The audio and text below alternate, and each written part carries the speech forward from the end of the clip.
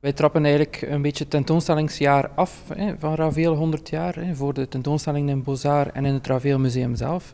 Waarbij wij eigenlijk ja, de focus leggen op uh, de Ravel-band met Deinze.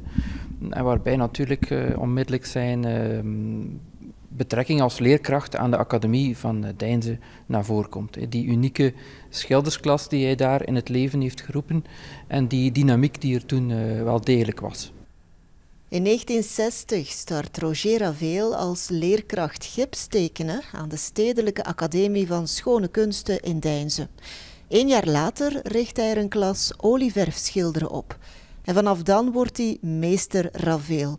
Letterlijk en figuurlijk, want Ravel domineert zijn klas met ijzeren hand. Zijn leerlingen hangen letterlijk aan zijn lippen en nemen zijn dan al zo typerende schilderstijl volledig over.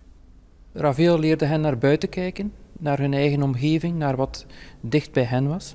En ook Ravel heeft dat altijd geschilderd in zijn eigen dorp, Machelen aan de Leie. Ravel schilderde eigenlijk wat hij, wat hij kende. De, uh, de kat, zijn huis, de betonnen muur, zijn vader. En die vormde hij om tot universele elementen vanuit Machelen. En ook die leerlingen hebben zo leren kijken. De schildersklas van Ravel aan de Academie voor Schone Kunsten in Deinze is een groot succes. Ook Raoul de Keizer is in 1963 een leerling van Ravel, maar hij verlaat de schildersklas alweer na één jaar, naar verluid omdat hij er niet kon aarden. Andere leerlingen volgen dan weer tot zelfs vier avonden in de week les bij Ravel.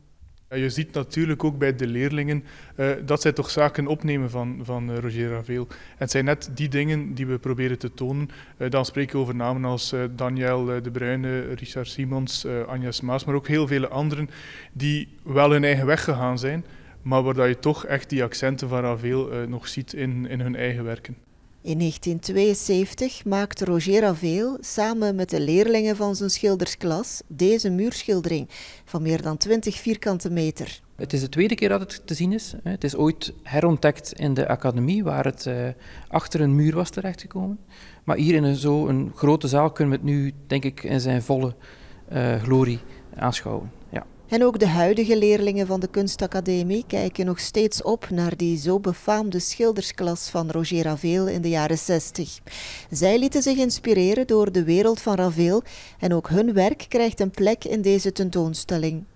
De huidige artistiek directeur Steve de Smet heeft een oproep uh, gelanceerd onder zijn uh, volwassen leerlingen om zich te laten inspireren door Ravel. Niet om een uh, Ravel-schilderij te maken, maar door wat wij noemen het verschrikkelijke mooie leven, genoemd naar een titel van, van een werk van Ravel, om, om naar buiten te kijken, naar een omgeving en om zich daarop te laten inspireren om een werkje te maken. En al die werken zijn hier dan ook verzameld.